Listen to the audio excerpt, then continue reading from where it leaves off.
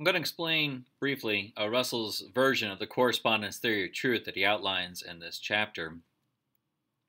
To understand this theory of truth, we kind of have to start with the you know the relevant objects in in this truth. So the first you know object, so to speak, is, is me, right? And then there's uh, the world.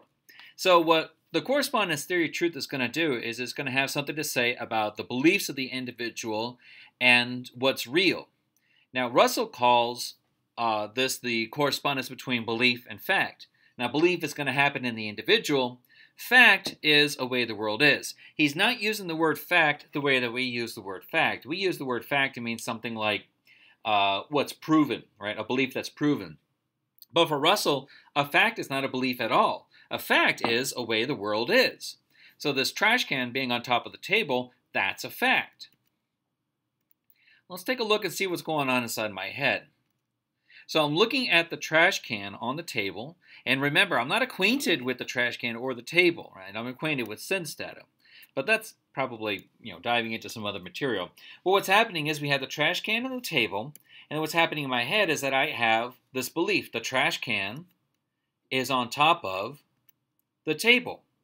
Now, these three terms here, these are all terms, they constitute a belief. Okay? So I had the belief, and this is inside my head. There's me, or the, no, you, the individual, with the belief, and uh, uh, there is the relation believes. So what we have here is we have the subject, that's you. We have the object, that's that's, that's the belief, and the object relation, that is uh, you believing the belief. These three things uh, together, the subject, the object relation, and the object, they constitute a complex whole. Complex whole doesn't mean that it's complicated, although this theory might be a little unnecessarily complicated. But the idea is it's complex as opposed to simple. Complex things have parts. Simple things don't. Okay? So this complex whole has parts, and the parts are constituents. So you, the belief, and the believing, you, the belief, and the believing, even the, even the relation there, the subject, the object, and the relation, they all form a complex whole. Now, the trash can on top of the table, uh, not the belief, mind you, I want to talk about the fact here. The fact of the trash can on top of the table, this is also a complex whole.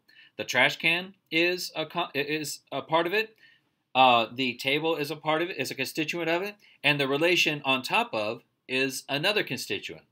So I've got one one complex whole, that's me, and I have another complex whole, that's the fact.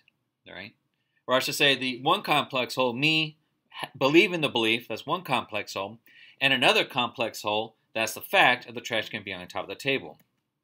And what exists between these two? Another relation that exists between these two uh, complex wholes is the relation of correspondence. Now, for, us, for this correspondence theory of truth, a belief is true just in case there's correspondence between the belief and the fact just in case there's correspondence between the belief and the fact. So if the belief is true, there's the belief, there's the fact, and there's a correspondence. If the belief is false, then uh, the correspondence uh, doesn't it doesn't exist, or maybe the yeah then there's no correspondence, I should say. If the belief is false, the belief still exists. There's still a fact, just not the fact that corresponds to the belief, uh, and there's a lack of correspondence between the belief and a fact.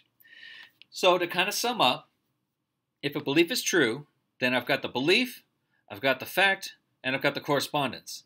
And if I've got the belief and the fact and the correspondence, then I have truth. And that's the correspondence theory of truth.